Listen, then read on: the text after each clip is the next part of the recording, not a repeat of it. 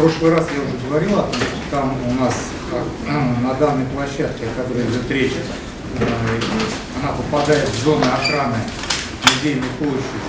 Если говорить о самом здании, доме Акимова, на сегодняшний день э, де юре этот объект культурного наследия существует, он никуда не девался, несмотря на его физическую утрату. Существует паспорт этого объекта с регистрационным номером, вот он у меня в руках, учетная карточка и решение исполнительного комитета Совета народных депутатов от 1989 года, которым этот объект был поставлен на государственный учет. Никто его с учета не снимал, решение о снятии учета принимает правительство Российской Федерации. Поэтому на сегодняшний день мы можем констатировать факт того, что данный объект, как объект культурного наследия, существует, хотя физически его, мы с вами знаем, уже более 20 лет нет. А, то, что касается режимов использования данной территории, как я уже сказал, она попадает в охранную зону музейной площади. Режим, в прошлый раз я уже говорил, э, этой территории это благоустройство, а, озеленение, создание исторической среды. Другого на этой территории не предусмотрено. Объект был в свое время уничтожен. Соответственно, решение о его исключении из списка объектов культурного наследия принимает премьер-министр Российской Федерации. Такого решения не принято. Поэтому де юра у нас с вами на этом земельном участке есть объект культурного наследия. А по каким документам дом сам был снесен? А снос самого объекта, никаких документов именно о сносе, когда он произошел. Произошел он в 1997 году, согласно документам, которые есть в БТИ. То есть там есть архивная запись о том, что в 1997 году этот объект был снесен. В 1997 году а, за полтора миллиарда тогда легенерных рублей было разделено там 15 семей за счет муниципалитета. Конечно, было совершено незаконное действие. Отселено было муниципалитетом за полтора миллиарда, а на тот момент фонд имущества, который возглавлял Павлов, был подготовлен по указанию руководства области, было подготовлено а, им исполнено а, распоряжение о, о очистке этого. Тогда еще там находил, находилась стоянка автомобильная, был снесен дом Акимова, и тогда находилась на этом месте автомобильная стоянка после чего было указано стоянку ликвидировать и выставлен на торги. Я на прошлом совещании рассказывал. Вот, и вывели этот участок и просто, другими словами, его сьюзили у, у города. Э, сделали преступление. Это что касается, как это было сделано. Теперь, я так понимаю, у нас вопрос, что там делать. Вот. Нету ни у кого никаких сомнений, что нельзя строить ничего. И 14 лет, 14 лет мы с журналистами этого добиваемся. И, и мы, в принципе, добились. И если мы говорим опять о комфортной среде, вот у нас еще существует, я э, немножко отвлекусь, хочу вас вот ознакомить с этим, то я лоббировал Песню Пиндиков, сейчас буду лоббировать Фролова. Это вот вам, пожалуйста, смотрите. Вот, на э, этой площади находится, это вот, смотрите, пожалуйста, вот, находится также между Краеведческим музеем и домом на набережной, где находится ресторан «Старый город», сожженное здание одноэтажное, это про которое тогда депутат э, Янклович говорил, что там кто живет, его надо достраивать. Это как гнилой зуб, это как гнилой зуб. И его нужно приводить в порядок. Ну вы полистайте, там видно будет. Вот так надо, на мой взгляд, на мой взгляд, закончить эту площадь. Мы, каждый из нас, практически большинство, все бывают в европейских городах, в культурных столицах э, европейских, и мы восхищаемся, что у них центральная площадь, там какие-то часы размещены, какой-то там памятник э, размещен, где вокруг красота и радует глаз. У нас же здесь мы вот э, такими вот э, чиновниками, которые строят запретительные барьеры, вот сейчас делают там ограничения, там, безусловно, это надо, это чтобы не было хаотичной застройки, но вот изменения вот такие вот для того, чтобы реализовывать вот такие вот красивые вещи и закончить образ, и чтобы это не онкологию глаза вызывало, а чтобы люди радовались, для того, чтобы все было хорошо, надо город Антон Владимирович свой любить. Фанатично. Полностью с вами согласен, и действовать в интересах горожан прежде всего. Это, ну и действовать, что тогда не получается у вас. Вот, и еще хочу сказать. строить здесь нельзя. Теперь э, ко второму пункту нашего совещания. Как сделать так, чтобы пензяки, ну, представители бизнеса, на самом деле не воспрепятствуют. Я так понимаю, они не воспрепятствуют. А, вопрос такой, опять, вот вы говорите, там, сделать плоскостное сооружение там, в виде сквера или все остальное. Вот идеи, и так надо делать. Но, послушайте, э, это историческая часть, и под ней могут находиться какие-то там, ну, произвести исторические раскопки. Логично это? Нет, Лайк Валерьевич? Вот Да, конечно. Вот. Прежде чем ее осваивать, нужно археологический след. Да, опять, у нас мы ограничено время до 22 года, если мы планируем там сделать сквер именно имени Петра. Но делать это тоже обязательно. Если сейчас что-то там изобразить, то потом опять до этого дойдут и сил не остается.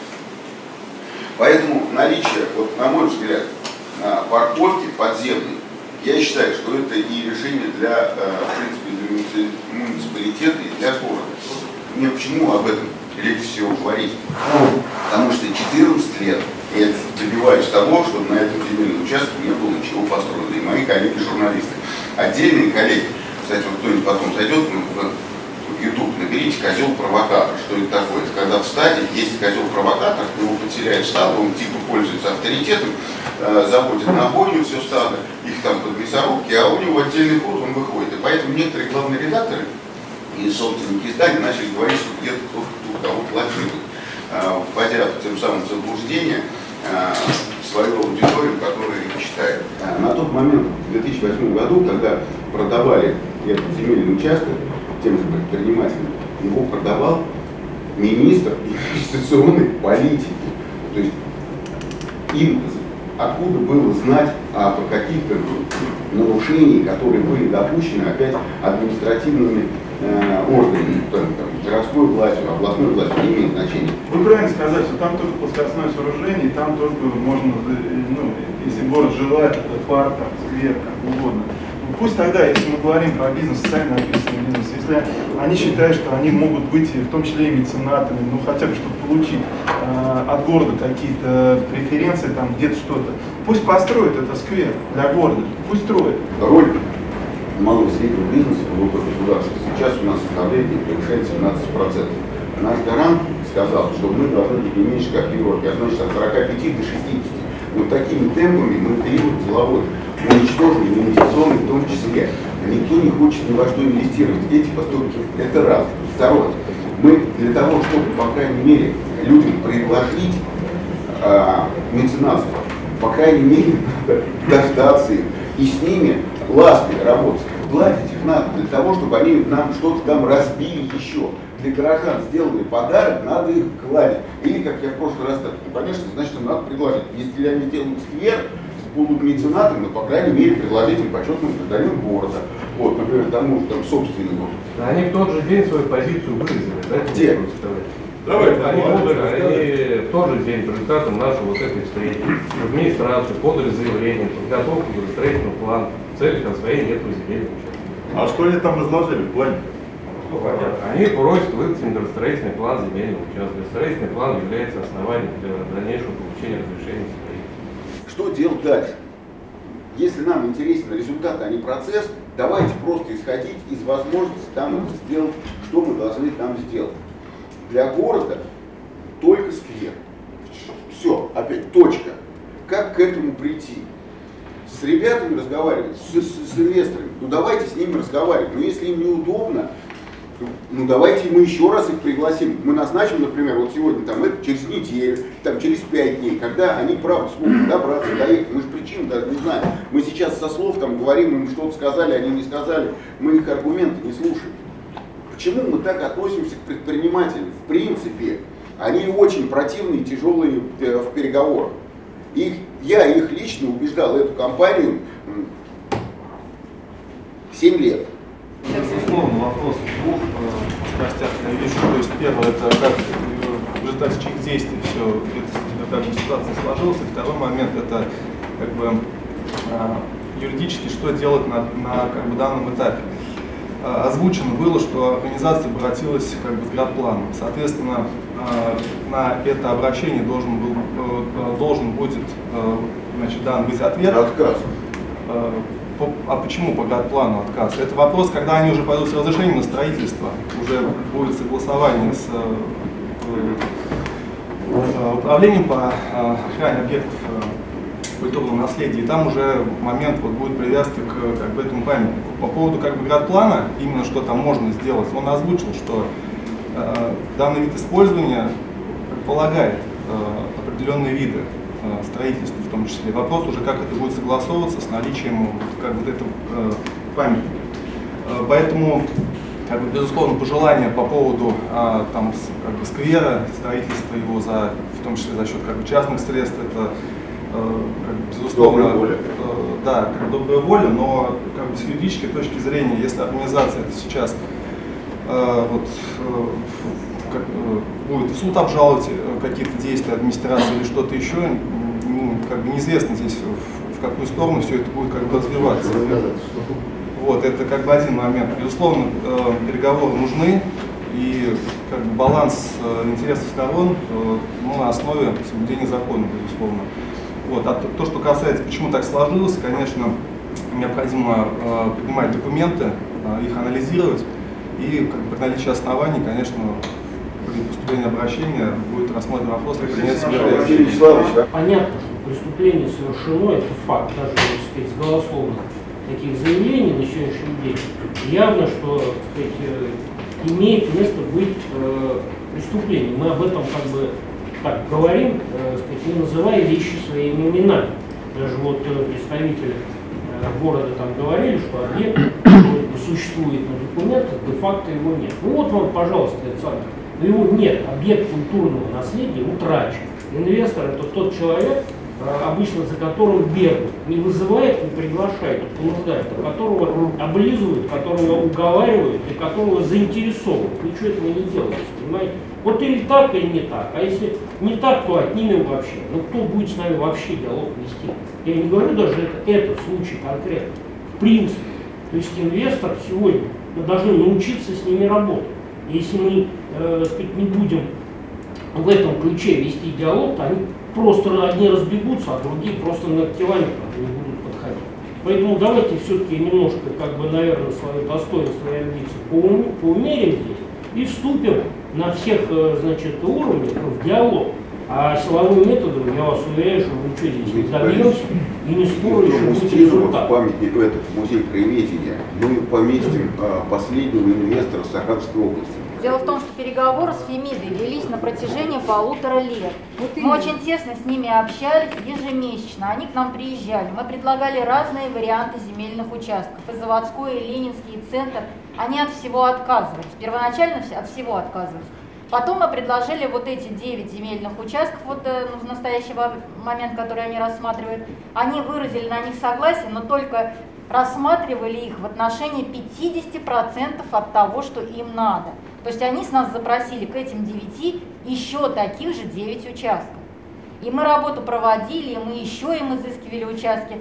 В конце они вообще сказали нам то, что им нужно завысить этажность, повысить этажность, потому что это им мало. То есть у них всегда было какое-то желание еще, еще и еще. И это было полутора, на протяжении полутора лет. А когда мы последний раз их пригласили, они сказали, что они выразили свое мнение в своем заявлении о получении градостроительного плана. Это заявление к нам поступило в прошлую пятницу, то есть по результатам вот совещания, проведенного вот здесь. Они сразу же в этот день сдали в канцелярию в нашу заявление о получении градостроительного плана на строительство многофункционального центра. В отношении градостроительного плана отказать мы им не сможем, потому что это информационный документ по градостроительному кодексу, он будет им выдан, будет им выдан со всеми охранными зонами, показано, что можно будет в нем размещать. Но я еще хочу дополнить свою речь э, то, что про парковку. Возможно ли, в принципе, на данном земельном участке у нас парковка? На данном земельном участке парковка у нас запрещена в связи с режимом использования земельного участка, который утвержден еще постановлением правительства Саратовской области в 2018 году. То есть там допускается только территория общего В пользования. данном случае у нас получился обманутый предприниматель. Он купил этот участок, он хотел его использовать в коммерческих каких-то целях. Но у нас получается, что он использовать он его практически не может. Э, Вот у нас город. Вы планируете, что вообще, для чего использовать этот земельный участок? Построить там Сквер. сквер или что? Сквер. У вас Сквер. есть какое-то предложение, какие-то вот есть планы? Просто вы не предлагаете ничего. Вот если мы там сделаем сквер, где будем парковать автомобиль? Вы планировали это? Мы Где? Мы готовили целый проект и предлагали Фемиде, показывали. Где, про, где парковка? Вокруг сквера. Вот, послушайте, Вена, Барселона. Барселона вообще, я считаю, что это культурная историческая столица лучшая в Европе. И по градостроительным нормативам, и все, и не дадут соврать, даже Корнеев не, не смог. Вот. И там под каждым историческим зданием находится парковка. Это запрещено в том случае, если это э, воля какого-то там частных, частника или просто инвестора. Если это будет в интересах муниципалитета, Владимир Валерьевич, вы мне поясните, это можно этого добиться, чтобы разрешить здесь согласовать и сделать там, например, законно выдать разрешение на строительство подземного паркинга? Конечно, можно. Все, никто сейчас к вам не придет с инвестициями, никто. А с таким подходом вообще никогда. А прокляты кто? Горожане, потому что из-за такого, из-за такого ретроградского, очень гладко, мягко назову, поведения властей, мы ничего не можем не развивать город, не продвигать его. У нас есть площадь, это лицо города, мы еще в прошлый раз отметили. Это то, с чего любой э, турист, любой гость города, области должен и обязан начать осмотр нашего замечательного города. Да, есть проблемы с собственником и собственностью этого земельного участка. Э, Есть, и отсюда никуда не денешься, что в охранной зоне может только плоскостное какое-то э, строение, я имею в виду сквер с лавочками, как говорили. Но и, безусловно, при наличии сегодня всех запретов, которые существуют, есть разум у людей и есть возможные варианты подхода к вопросу создания парковки. А она в таких местах, безусловно, необходима. И здесь совершенно прав Сергей Юрьевич и Дмитрий Борисович, который приводит примеры в Европу. Я видел все эти места, все эти парковки. Да, надо провести изыскания археологические, гидрологические, гидротехнические, для того, чтобы понять, что там можно по сути сделать. И подготовить все разрешительные документы, проекты документов, согласовать э, в муниципалитете, в регионе, в Москве, в правительстве Российской Федерации, но прийти вот к этому общему знаменателю. Безусловно, на это потребуется время какое-то. Параллельно надо двигаться к пониманию вопроса, как произошло отчуждение, возможно ли восстановить статус-кво городской, и это параллельная процедура, которая тоже обязана иметь место в нашей жизни.